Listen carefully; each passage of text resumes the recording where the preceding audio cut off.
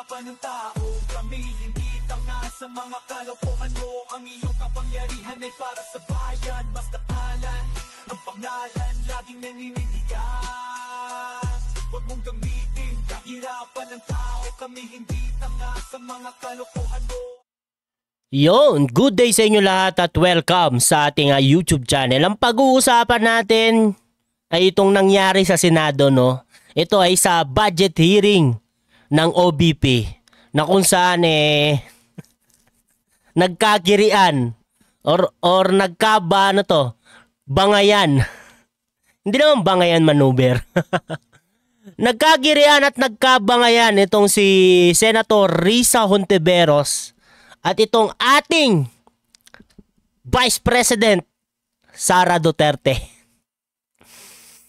Hmm, hindi ko na talaga alam kung ano yung nangyayari sa atin. Sa ating mga politiko, hindi ko na talaga maintindihan kung ano yung nangyayari sa kanila. Putik yan. anyway mga master, simulan na natin to pero bago tayo magsimula, syempre shoutout sa inyo lahat. At panoorin na natin tong video na to. OVP family. Ah, dalawang tanong lang po, Chair, para ngayong araw. Mhm. Ah, una po, I note that a huge chunk of the OVP's 2025 operations budget, 1.909 billion pesos, Ay, na, nabilisan ko pala, no? Bagalan natin. Yung normal lang. Okay? will be used for the delivery of socio-economic programs, such as one medical and burial assistance program. Mhm. Uh, this supplements other healthcare programs of the government to Mhm. assist indigent individuals and families. For 2025, 771.445 million will be allocated for the program. Mhm. Uh, sa loob niyan, 600 million pesos for medical assistance and 171.445 million for burial assistance, which are, Madam Chair, very similar to the medical assistance to indigent or financially incapacitated patients program Mhm. o MAIF-IP of the DOH Mhm. and DSWDs, Assistance for Individuals in Crisis Situations or. AICS. Mhm. Ah, pangalawa, disaster operations Mhm. uh, which aims to provide relief goods to disaster-stricken areas not commonly reached by other agencies. Para doon 101.644 million pesos and is also similar doon naman sa disaster risk management program of the DSWD. Mhm. Third, relief for individuals in crisis and emergencies or providing food boxes or food items to families who are ineligible for uh, OVP's other services. So 50 million pesos, which is also similar to DSWD's AIX. And last, Magnegosyo Taday. Livelihood assistance for those with entrepreneurial skills, 150 million pesos, which is also similar to DOLES naman, Integrated Livelihood Program o DLIP. Mhm. So, ang tanong ko po dito, Madam Chair, anong nag-lead sa OVP na mag-consider na i-launch yung ganitong programs? Ah, may ginawa bang studies para suportahan yung pagkakaroon ng ganitong programs na parallel naman sa katulad at existing programs ng iba't iba nating line agencies, Madam Chair? Mm, parang ang ano dito ni Risa Ontiveros, copy-paste lang. Parang magna carta lang ba yan? Di, joke lang, joke lang. Huwag kang galit na naman yung mga tulpo natin. Iba yung pinag-uusapan dito, hindi si tulpo. Pero parang magna carta lang ba yan? Ka- copy-paste lang daw eh. copy-paste lang nga lang, di ba pumasa? hindi, joke lang, joke lang. Joke lang, mga tulpo natics. Chair. Yes, Madam Chair. Uh, thank you. Uh, noong ako po ay nangampanya, tatlo lang po yung ah, sinabi ko na plataforma. Una po, trabaho. Pangalawa po, ah, edukasyon. At tatlo, mapayapang pamumuhay para sa ating ah, mga mamay- mamamayan. Nung Okay. pumasok po kami sa Office of ah, the Vice President, tiningnan po namin ang ah, mga pinakamaraming requests ng ating mga kababayan. Mhm. Una-una po, ang lagi po naming natatanggap na request ay uh, medical and uh, burial assistance. Okay. Pangalawa po ay financial assistance. Pangatlo, lagi silang humihingi ng tulong sa pagkain. Mhm. At pang-apat, very recently sa tali ng mga mga requests, no?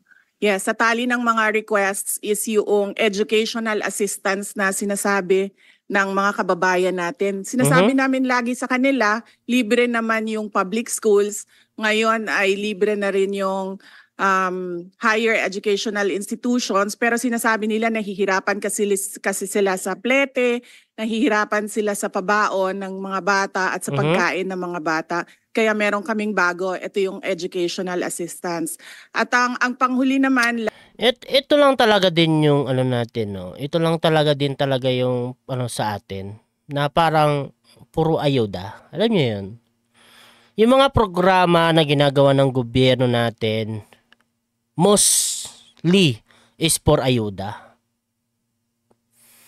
Ito yung mali. Ito yung nakikita natin na mali, no? Kasi, ganito yan eh. Pag ang tao kasi, sinanay mo na naghihirap sila, no? Eh, eh, ako, di naman ako mayaman. Hindi naman ako nag-ano, no? Public school lang din nag-aaral yung anak ko. Pero ito yung point.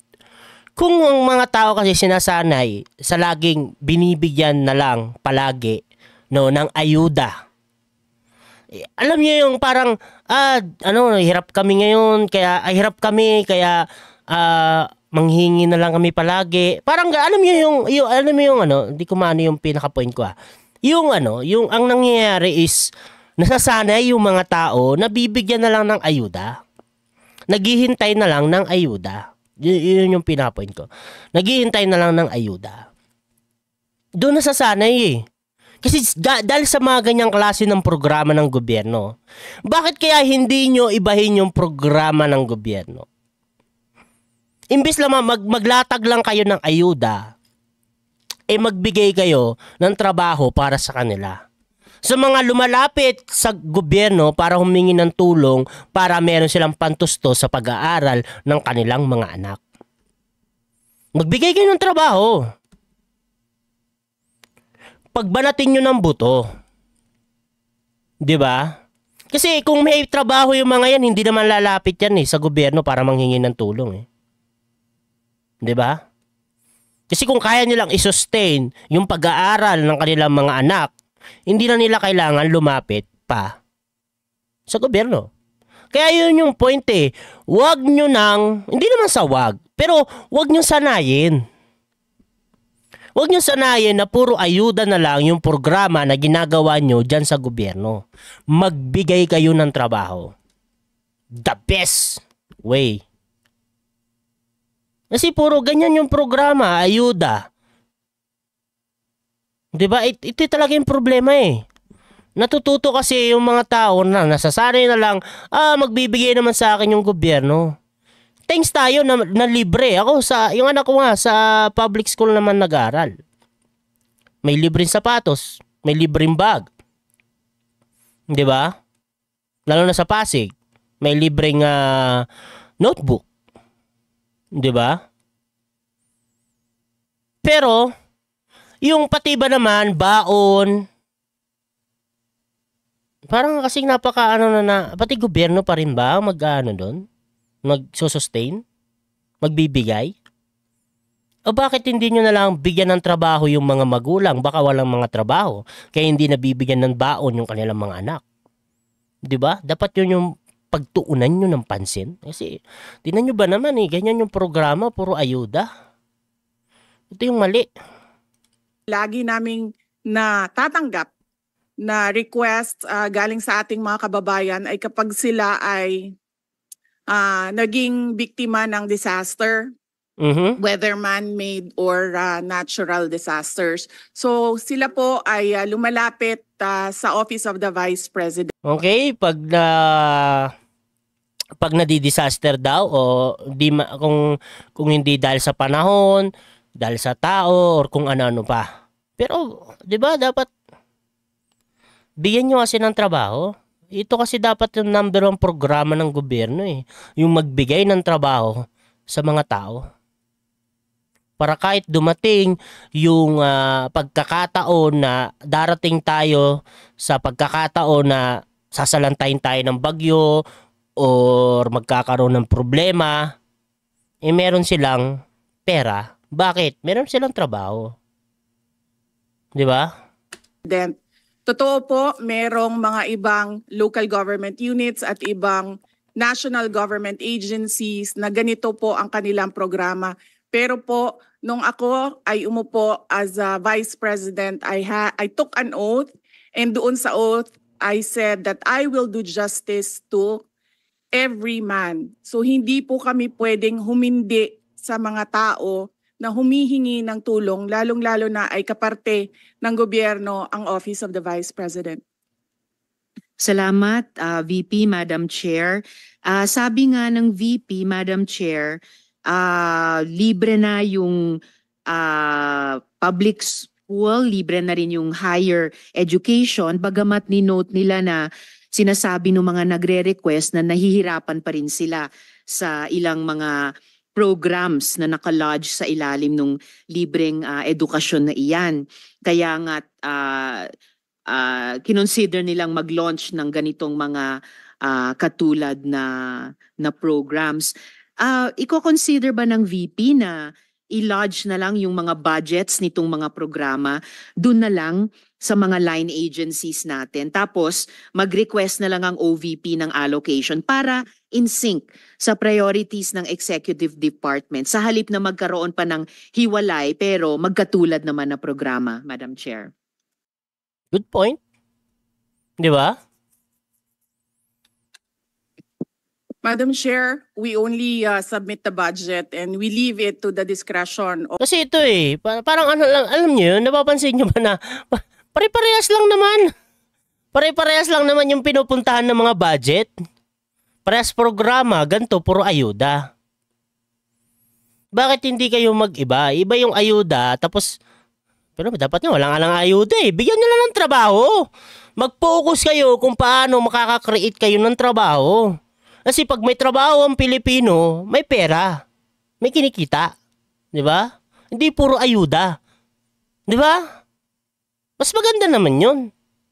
Alam nyo naman sa Pilipinas, maraming walang trabaho. Kaya yung mga anak nila, hirap sila mag-sustain sa mga nag-aaral nilang mga anak. Kahit public pa yan. Kasi ano man naman talaga maibibigay mong baon kung wala ka naman pera? Saan ka kukuha ng pera? O asa ka sa gobyerno? Di ba? So, paro-parehas yung mga ano nyo, yung mga programa nyo. Anong dapat yung gawin? Gumawa kayo ng trabaho dyan sa gobyerno.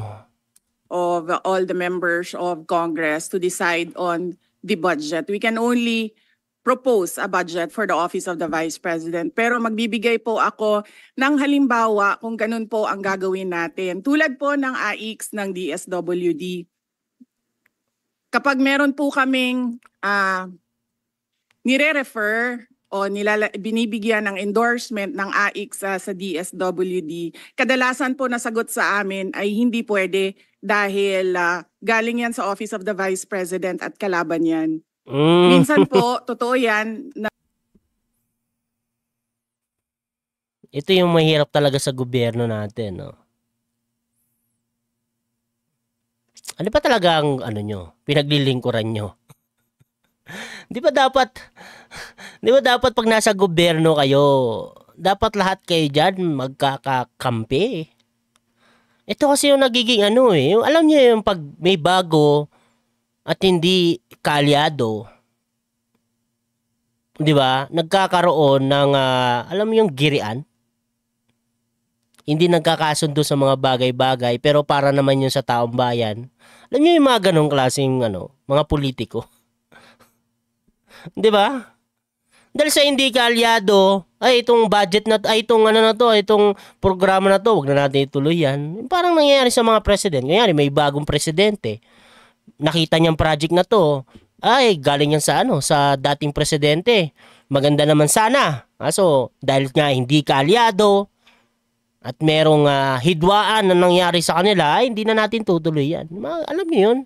Ito yung pangit na ano nangyayari sa Pilipinas eh. Sa mga politiko. Nasasayang kasi yung oras, nasasayang din yung pera. 'Di ba? Maganda naman yung kapupuntahan ng programa na yon, pero dahil gawa yon ng hindi ka alyado, 'di ba? Eh wala. Hindi na lang itutuloy. 'Di ba? Sayang oras, sayang pera. na pupolitika ang assistance para sa ating mga kababayan. Kaya po, uulitin ko, ang mga tao naman kasi hindi sila tumitingin sa politika. Tumitingin lang sila na itong opisina na ito ay opisina ng gobyerno at pwede kaming humingi ng tulong doon. And so I go back to Mhm. the oath that I shall do justice to every man at kaya po kami nandito at kaya po kami merong mga ganito na mga projects sa Office of the Vice President. Okay? Ah, salamat VP, Madam Chair. Wini-welcome ko yung sinabi nila na um, the VP would leave it to the discretion of the members of Congress. Ah, medyo nagitla ako nung sinabing ah, minsan pag may nire-refer ang OVP para sa AIX, ang feedback ay kalaban niyan. Dahil Madam Chair, I, I believe tayo sa Kongreso when we ah, appropriate ah, the budget, merong implicit na assumption tayo doon na in pagkatapos in the exercise of our oversight function, yung parehong level ng professionalism we demand of ourselves ay uh, resumption of regularity, ina-expect Mhm. natin sa lahat ng members ng executive, Mhm. lalo na when they are working together. Kaya ah, gaya ng sinabi ko kanina, wini-welcome ko yung sinabi ni VP na ah, ah, they would leave it to the dis, uh, discretion of the members of Congress Mhm. And tayo naman ay hindi tayo um, bibitaw sa mahigpit nating pag-ensure na these programs be implemented by the appropriate agencies o kahit in collaboration with each other na naaayon talaga sa sa tamang standards uh, above above uh, partisan politics. Um, and therefore, at the proper time, Madam Chair, um, gagawa ako ng proper motion para i-lodge yung budgets ng mga programang ito sa line agencies na may klarong uh, uh, uh, opportunity for OVP na mag-request for allocation as for other uh, offices in the executive.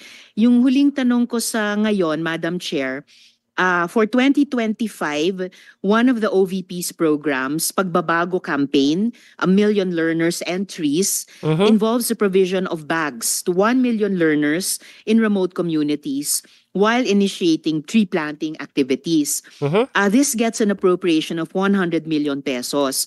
Part of this campaign is an allocation of 10 million pesos for the distribution of Isang Kaibigan Books, a children's book authored by the VP.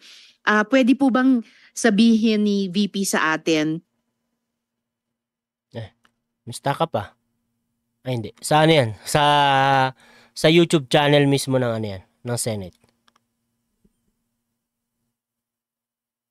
Mista ka, pamista ka. Pamista ka si Risa. Another example more tungkol sa librong ito? here, let me make a rebuttal and an- another example of politicizing the budget of the government. Ito pong sinabi ni Senator Risa Ontiveros na at the proper time she'll make a motion to lodge the budget, the requested budget of the OVP to the other agencies. Eh, ito na. Ito na. Ito na. Ito, ulitin natin, ulitin natin, ulitin natin. Butol kasi yung video eh. Pero ah, parang ang sinasabi dito ni BP Sara, eh, itong sinasabi ni Risa Ontiveros, eh, same ng ah, ah, political, ano, political na hindi pagkakasundo. Ganon. Ah, ulitin natin. Ni Senator politicizing the budget. Here, let me make a rebuttal and an- another example Ah, magre-rebat siya, okay? of politicizing the budget of the Ayun, politicizing the budget daw. government. Ah. Ito pong sinabi ni Senator Risa Ontiveros na Ito daw sinabi ni Risa. the proper time she'll make a motion to lodge the budget, the requested budget of the OVP to the other agencies. Let Pero me ang tanong kasi dyan, BP Sara, kasi kung pare-parehos lang, pare-pareha lang, yung ginagawa nyo sa iba pang agency, di ba parang kasing, alam nyo yun, kahit ako naman mapapatanong, bakit pare-parehas lang? Ibahin nyo naman, wag naman kasi ayuda lang. Puro kasi ayuda eh. Lahat ayuda, oh, bigyan yan, bigyan yan. Anong kailangan mo? Bigyan yan. Kaya nagkakaroon ng tana, ano eh, ng utang na loob eh, sa mga, mga nasa gobyerno eh, yung mga nasa politiko eh. Yung mga tao tuloy, yung mamamayang Pilipino, nagkakaroon ng utang na loob dahil sa ayuda na yan. Tanggalin nyo kasi. Magbigay kayo ng trabaho sa mga tao. Di ba? Ito kasi yung mali. Pare-parehas lang yung ano nyo eh. Yung, yung mga programa nyo eh. Ito yung programa ng Vice President. Ito yung programa ng ano, Ponce Pilato. Ito yung programa ng ahensya na yan. Pare-parehas lang ayuda. Trabaho kasi ang kailangan ng mga Pilipino. Doon dapat kayo mag-focus. Paano kayo makaka-create ng trabaho sa mga tao? Para yung mga tao hindi nalalapit sa mga sa, sa opisina nyo para humingi ng ayuda. Di ba? I just quote Senator Risa during the Akbayan Congress. Nagkakatarayan na. Alam ko po na ang daming kalat ni Duterte na hirap, na hirap tayong linisin. Ang kadiliman noong panahon niya ay talaga namang nanuot sa ating lipunan para man sa na napakahirap tanggalin. At habang ang anak niya ay may kapangyarihan pa, hindi magiging madali ang ating laban. While VP Sara is in power, the threat of a full-blown Duterte comeback is still a very real and present danger. For one, they are supported by one major superpower, China. So that is an example of politicizing the budget.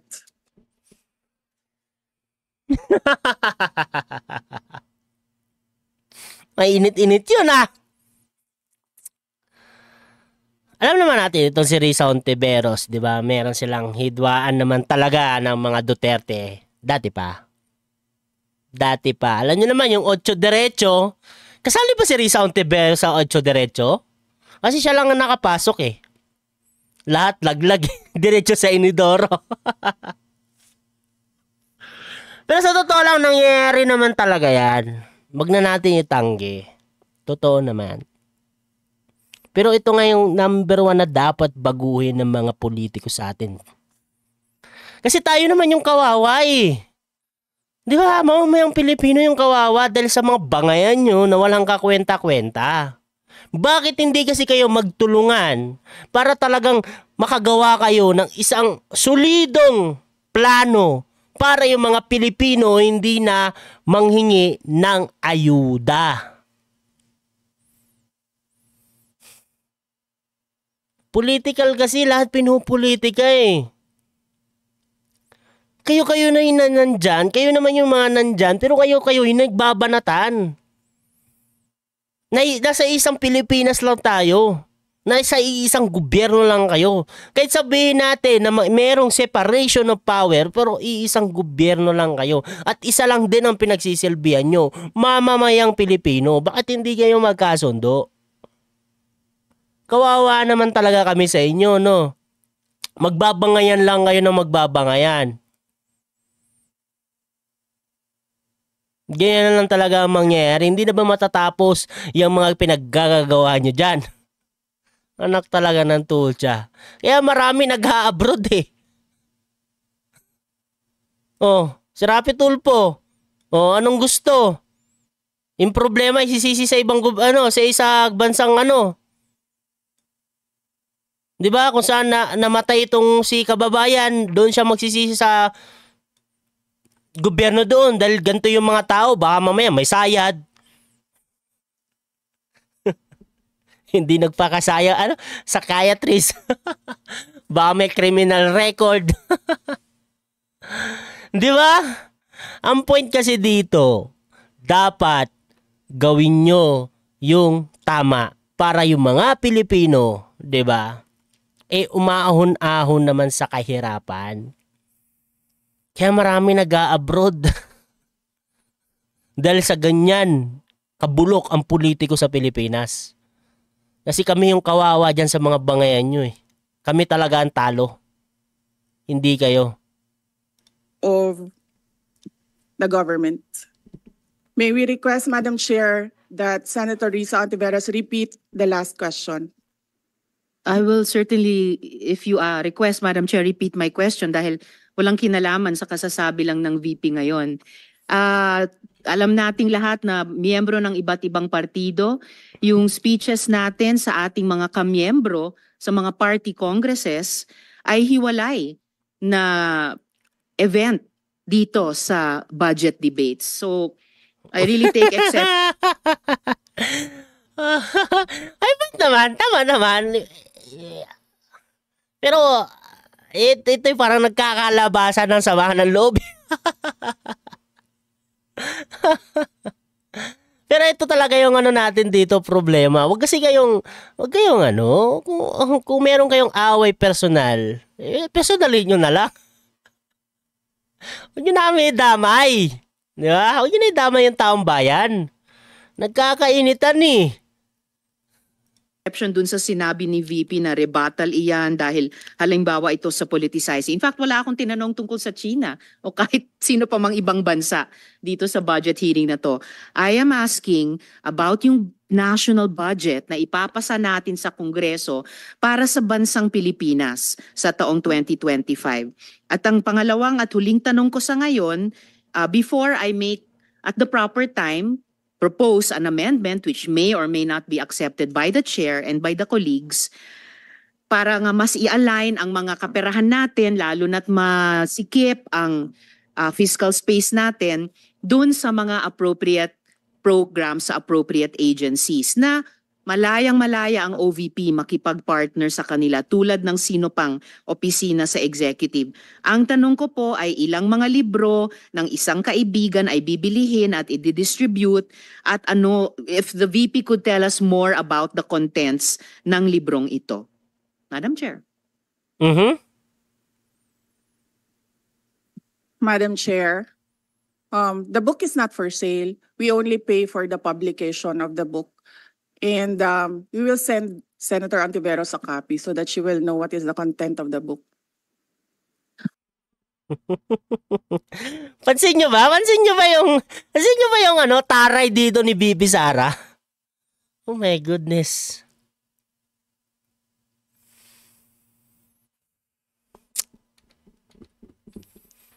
Oh, hindi daw binibenta yung libro. We only pay for the publication of the book. And um, we will send Senator Antiveros a copy so that she will know what is the content of the book. Taray ah! Oh, um, this question is not only for me, Madam Chair, para rin para sa mga kasama dito sa budget hearing. Um, baka, baka ilang araw pa bago mapadala at mabasa ko, which I certainly will. But I am asking a question uh, bilang isang mambabatas sa head of agency ng isang opisina sa executive dito sa budget hearing na to. Simpleng tanong. Tell us more about the book, isang kaibigan, at ilang kopya nito ang bibilihin ng gobyerno sa Pakita ko sa inyo yung ano, yung ano, kanina, kanina kasi nakipanood ko to kay Atty. Lubayan eh. Saan na ba yan? Yung libro, yung libro na binabanggit nito ni, ni Risa Hontiveros. Saan ba yan? Uh, BP Sara. Saan na yan?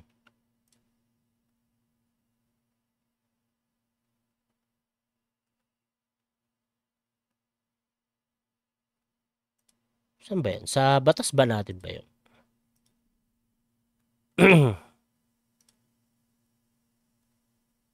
ito, ito, ito, ito. Alright. Alright. Papakita ni Atty. Libayan yung libro. Eh. Yan. Mag- Di, punta na natin yung mismong ano, your link. own interest. Ano yun, si... Pinos ni Jerry yun eh. Saan na ba yan? Ni Journey to Understanding. Sinin niya yun sa link. eh. Sinin niya yung link eh. Mo yung pera, ha? Already. Nabasa ko yun eh. Wait lang. Hanapin natin para ipakita ko sa inyo yung libro. Sinin niya yung link eh. Ano ba yan?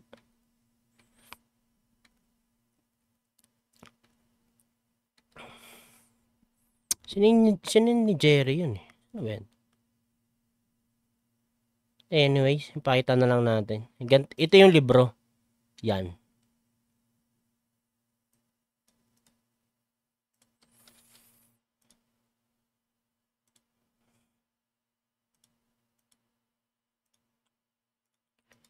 Kapipis.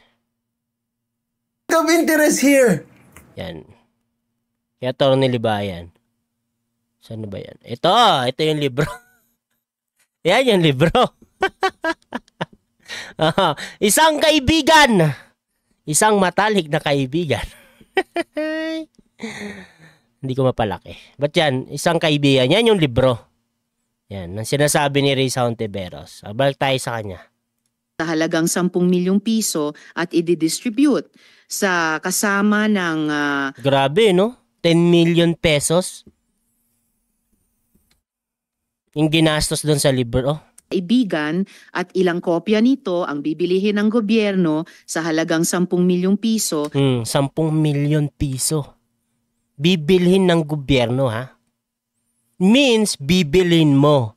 Kasi, ang pera ng gobyerno ay pera ng taong bayan. at i-distribute sa kasama ng ah, mga bags sa 1 million learners sa remote communities, Mhm. Madam Chair. Madam Chair, this is an example of uh, politicizing the budget hearing through the questions of a senator. Ang pro- Pero, ang tanong dito, Bibi Sara, ba't hindi mo sagutin na lang para matapos? Kasi kung sasabihin mo lang lagi na politicizing nga yung ginagawa ni ano, eh, hindi kayo matatapos. Kasi kung yun nga yung ginagawa niya, edi walang mangyayari. Di ba? Ito yung mahirap eh, yung pa- pataasan ng ego. Babaan nyo naman kasi yung mga ego nyo. Di ba? Kasi talo ang taong bayan dyan sa ginagawa nyo. Magbabangayan lang kayo ng magbabangayan. Huwag ganun. Sagutin mo na lang kasi. problema niya kasi nakalagay yung pangalan ko doon sa libro. At yung libro na yan, ibibigay namin doon sa mga bata. At Pero bakit kasi nakalagay yung pangalan mo? yung mga bata na yan, may mga magulang na boboto. At yung pangalan ko ay nagkalat doon sa kung saan man ibibigay yung libro. Pero ito kasi yung tanong dyan, BP Sara eh. Gagastos tayo ng 10 million pesos para doon sa libro na nandoon yung pangalan mo. Di ba? Bakit? Bakit? Di ba? Kahit sino naman magkukwestiyon. Kahit ako. Kukwestiyonin kita. Hindi to pamumulitika. Bakit? Madam Chair, we commit to send tomorrow everyone in this room a copy of the book. Ano, ano kasi nilalaman nun? Kung buhay ni Sir Rafi, mukhang interesting. Basta yung totoo ha. Yung totoo. Di ba? Kung ganun. Kung ano yun na nakasulat ha, di ko alam eh. Hindi ko pa naman nababasa yan kung ano laman yan. Pero, kasi di ba pangalan na, nandun na yung pangalan ni Baby Zara, di ba? Pero kung, kung pangalan ni Sir Rafi yun, tapos, tungkol sa buhay ni Sir Rafi, yung totoong nangyari sa buhay niya, aba, interesting.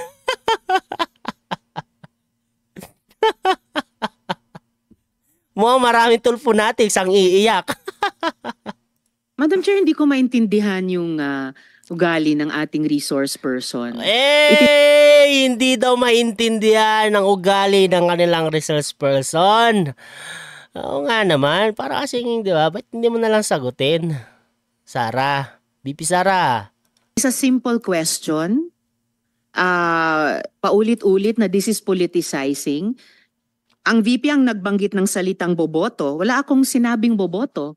I'm simply asking, ah, hindi ko ma-imagine we're making so much trouble, so much fuss about a 10 million peso item na itinatanong ko lang simpleng, what is the book about? At ilang kopya ang bibilihin ng gobyerno sa halagang 10 milyong piso at i-distribute. I don't appreciate Mm, 10 million. Kahit sabihin natin na yung, yung libro ay nagkakahalaga lang ng 50 pesos. Pero 10 million is 10 million. Bakit yung 10 million na yan, eh, gamitin nyo na lang para ayuda. Hindi, joke lang. Para makakreate kayo ng trabaho. Di ba? I-budget nyo para makakreate ng trabaho. Ano bang klaseng libro yan? Di ba? Parang, Kasi kung educational books yan, kagaya ng mga ginagamit ng mga estudyante, mapapakinabangan talaga nila, why not? Bilhin natin. Pero, kasi di natin alam kung ano pa yung laman eh. Kasi tinatanong ni Risa, ayaw sagutin, ni BP Sara. 'Di ba? Para alam din. Kasi parang ano naman yun, ano, nagkalat yung pangalan mo doon, tapos, tapos bibili natin ng 10 milyon. Parang, parang negative talaga tayo doon.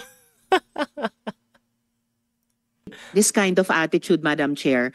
Uh, usually, ang resource persons natin ay nagbibigay ng parehong institutional courtesy Eh di, pasay tong contempt niya. Hindi joke lang.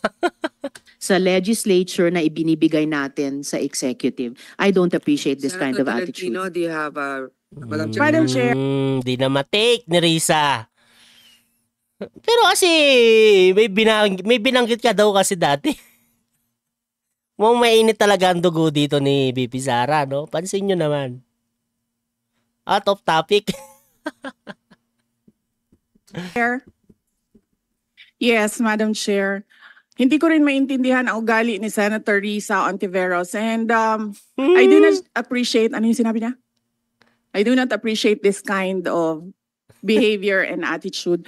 Madam Chair, noong 2016, tumatakbo si Senator Risa Ontiveros Ungkatan, anak na lang ng tutya. na senator, nakailang talo na siya. So, Dalawa, Madam Chair. Okay, dalawa. Natatakot siya sa pangatlong talo niya, kaya pumunta siya sa Davao. Humingi siya ng tulong. Mm. Bakit? Ba't ganyan yung mga usapan dyan? Tinulungan siya ng isang kagawad ng Davao na ngayon hindi na siya sinusuportahan. Humingi siya ng tulong sa akin, thinking na hindi mananalo si President Rodrigo Duterte. Kinausap niya ako ng kinausap doon sa law office ko sa Davao City. Sabi ko sa kanya, o sige, ah, tutulungan kita. Chinika niya ako ng chinika. Ibig sabihin, yung chika niya sa'yo, plastikan. Pinastik mo lang siya, parang ganun ba? Hindi, joke lang. Tapos umalis siya. Kasi nagkakabangayan kayo ngayon eh. Ay, nagkatsikahan naman pala eh. Siyempre, hindi naman siya tumutulong kay Pangulong Duterte. Hindi din totoo yung sinabi ko na tutulungan kita. Tinext niya ako. My goodness, politiko sa Pilipinas, ganto. Kailan ba kayo talaga magbabago? My goodness. Pwede ba akong mag-follow up sa hinihingi kong tulong sa boto dyan sa Davao City? So sabi ko sa kanya, okay, sige. So, tinawagan ko. Utang na loob. Ganyan kasi ang nangyayari. Hingi ako tulong sa'yo para maboto naman ako dyan kasi balwarte nyo yan. Tigilan na natin yan. Hindi matatapos yung problema natin pag puro ganyan ang nangyayari sa ating mga politiko. Tingnan nyo, laging utang na loob. Dahil tinulungan ba? Ganon? My goodness. Kaya dapat talaga tayo mga Pilipino, alamin na natin kung sino talaga yung karapat dapat na iboboto natin. Para hindi makapasok yung mga, alam niyo yung mga politiko na kung saan eh, puro alyansa ang ginagawa. Pag hindi ka alyado, itsapwera. Kahit maganda yung programa, itsapwera. Di ba parang walang katapusan. at sinabihan ko at pinakiusapan ko ng pinakiusapan si former Congressman Milen Garcia. Sabi ko sa kanya, Kong, tulungan mo ito. Bigyan mo na lang ng ilang barangay mo at ilang mga leaders mo. Ayaw pa siya tulungan ni former Congressman Milen Garcia. Pinakiusapan ko ulit, Kong, please tulungan mo na lang. Eh, sir, uh, Bibi Sara, ano ba yung point mo talaga? Budget hearing ang usapan nyo. Tapos napunta na kayo sa politika. Bakit ganon? My goodness. Nanalo na siya at nung nanalo siya, anong ginawa niya? Siya ang pinakaunang umatake kay President Rodrigo Duterte. Anong tawag sa ugaling ganito?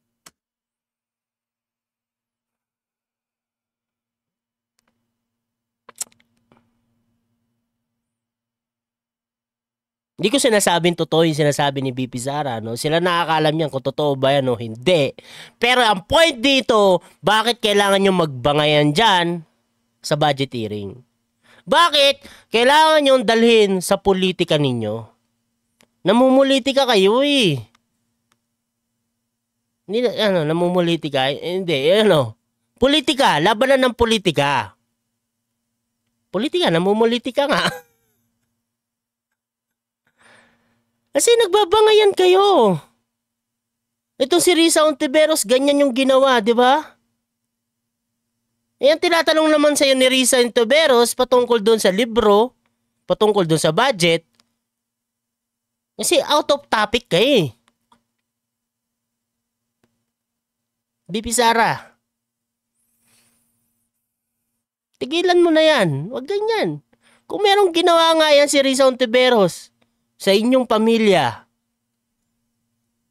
pwede nyo naman sigurong pag-usapan niya ng kayo-kayo lang. Huwag nyo daanin sa budget. Di ba? Um, Mad- with the, with the, with due respect to our resource persons and also our colleagues, I think this doesn't really, Kakapersonalan. I, I understand there's history among all of us here. But uh, I think that we should really stick to the budget. Oo, totoo naman. Itong si Senator Grace po, mainit din yan, di ba? Nagkainitan din sila ni dating Pangulong Rodrigo Duterte. Di ba? and I think uh this is just being very objective. I I would like to ask also uh since we're going to be furnished a copy tomorrow, we can look at it and evaluate what the content of the book is. Um but maybe just a general we won't ask line by line ano ba yung libro na yan. But tell me is it for uh good manners and right conduct? That's That's good point. fine. Um, is it science? Is it history? So maybe just a general one. So we can just Tama. Kasi kung mapapakinabangan naman yung libro na yan ng mga kabataan natin, so what? Kailangan natin bilhin. Di ba? Di ba? Ganon yun. Pero kung hindi yan mapapakinabangan ng mga kabataan natin, hindi nila magagamit sa pag-aaral nila, huwag na natin bilhin yan.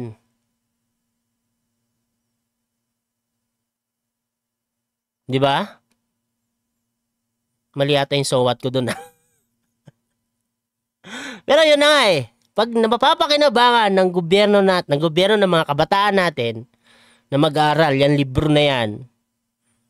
Siguro kahit may pangalan pa ni ano yan, ni BP Sara, bilhin natin. Pero kasi bakit may pangalan mo doon? Anak talaga ng just answer it because I understand that every office will have its own advocacy and initiative. Mhm. So, but then I don't think it's also wrong for us to be curious what it is about. So just a general one. Any of the undersecretaries can uh, tell me uh, what the topic of the book is? Is it history? Is it what is it?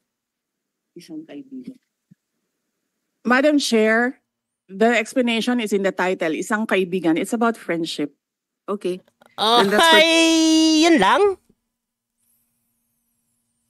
It's about friendship. Nasa title is about friendship, isang kaibigan. So, yan lang ang ibig sabihin nun. Bibili natin ng 10 million. Yang libro na yan, na sa title lang, malalaman mo na kung ano yung te- konteksto? Ga- ganun ba? BP Sara? Isang kaibigan. Ibon, tapos may pangalan mo. Ano to? Story? Eh pag ganyan, wag na natin bilhin yan. Shoot na lang sa basurahan. Hindi, joke lang. oh my goodness. Bilhin natin yan. For the record, it's about friendship. Madam Chair, just a last point. Okay. So kung sana ganun yung naging sagot sa simula pa, 'di ba? Napakasimple. Simpleng tanong, Eh, mainit ang dugo sa'yo, Senator Risa. Kitang-kita naman. Pero BP Sara, sana naman, no, mag- maging professional tayo. Kasi professional dapat yan. Maging professional kayo dyan. 'Di ba Kung meron nga kayong away sa isa't isa, na personal dahil nagkaroon kayo ng girian, eh huwag nyo na may dama yung taong bayan. Yung budget nyo, ay dapat yung budget yung pag-usapan yan, hindi politika. Huwag kayo mamulitika. Dapat simpleng sagot. Nagkwento pa ng kwento na sinabi dati na walang kinalaman ah, sa tanong ko. Ah, just uh, for the record, uh, as a last point, Madam Chair, this is public funds. And we're Agree? Tama naman. Good point, di ba? Yan naman yung punto ni Senator Risa. Pag-usapan nyo, budget. Budget lang. Pag personal, eh, ito kayo mag-away sa labas. making inquiries ah, about them. Budget hearing po ito. Hindi po lahat about you. Pera po ito ng taong Okay, bayan. okay. For the Agree. record, Um, I Madam think that Chair. is Thank not you, yet Madam Chair. personal, But, but I, Yes. I understand the emotion is uh, high. Ah, when emotion are high, intelligent is low. Pero dapat, watch your word. Di ba?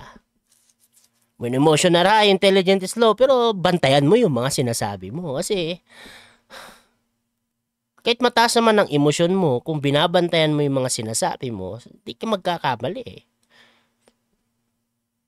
But uh, let's continue on. If you have any more questions, Senator Risa, we will Those have are just my two questions, Madam Chair. Maraming salamat po. Thank you.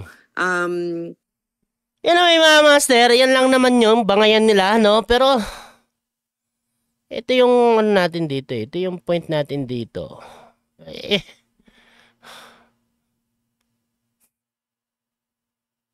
bakit ganyan yung nangyayari? Bakit ganyan yung nangyayari sa mga politiko natin?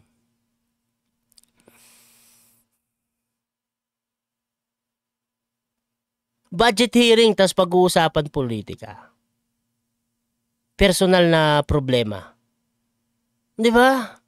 Huwag ganun. Kung may girian kayo sa isa't isa, sa inyo lang, huwag nyo kami damay. At ito pa, pagdating sa mga budget na ganyan, sana naman pag-isipan nyo na wag puro ayuda. Wag puro ayuda. Magbigay kayo ng trabaho sa, sa mga tao para hindi na lumapit sa gobyerno para manghingi ng ayuda.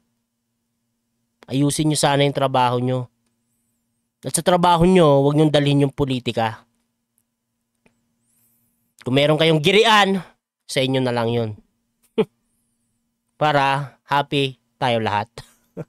anyway mga master, agad dito na lang tayo at maraming maraming salamat sa pagsama sa ating video.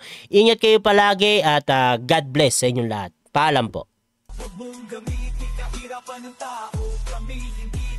Sa mga kalokohan mo Ang iyong kapangyarihan ay para sa bayan Basta alan ang pangalan Laging naninindigan Huwag mong gamitin kahirapan ng tao Kami hindi tanga. Sa mga kalokohan mo Ang iyong kapangyarihan ay para sa bayan. Masteralan ang pangalan Laging naninindigan. Huwag mong gamitin kahirapan ng tao. Kami hindi tanga. Sa mga kalokohan mo Ang iyong kapangyarihan ay para sa bayan. Masteralan ang pangalan Laging naninindigan.